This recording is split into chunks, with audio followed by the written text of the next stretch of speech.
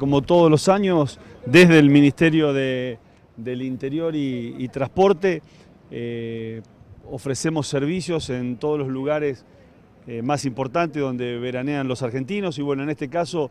vamos a tener una fuerte presencia en las rutas con la Agencia Nacional de, de Seguridad Vial, generando conciencia, prevención, llevando adelante controles y por supuesto, como último recurso, sanciones. La idea es que el Estado esté presente en todas las rutas argentinas más transitados para cuidarnos, para que no se excedan los límites de velocidad permitida, para que no se consuma eh, alcohol si se va a manejar, para que utilicen el casco, para que utilicen el cinturón de, eh, seguridad. Eh, por otra parte, también vamos a tener una fuerte presencia con el Registro Nacional de las Personas para ofrecer el servicio del documento eh, y el pasaporte a todos aquellos que quieran hacerlo mientras están, vacacionando, como así también una fuerte presencia de la Comisión Nacional de Regulación del Transporte para controlar el transporte de, eh, profesional eh, de micros, de pasajeros. Vamos a tener trenes de los nuevos, eh, puestos en algunos centros turísticos para que los argentinos puedan ver cómo son los trenes cero kilómetros que ya funcionan en larga distancia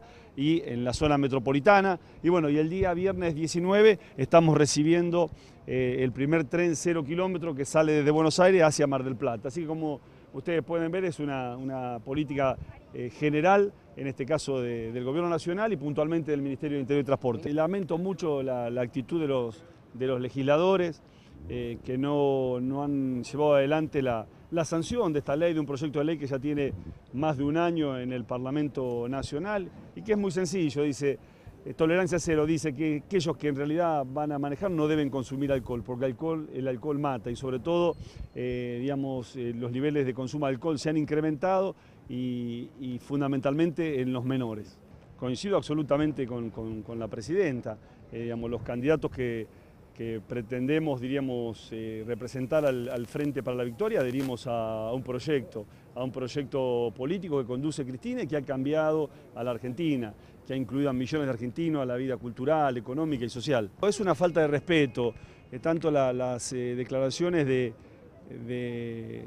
del jefe de la Ciudad de Buenos Aires, de Mauricio Macri, como de Massa. Decir que los derechos humanos es un curro, es una falta de respeto a aquellos que eh, han perdido a un ser querido injustamente por pensar diferente. Es una falta de respeto a aquellos jóvenes y a todos los argentinos que soñamos con un futuro mejor, sabiendo que no hay posibilidad de construir futuro si no hay memoria, no hay verdad y no hay justicia.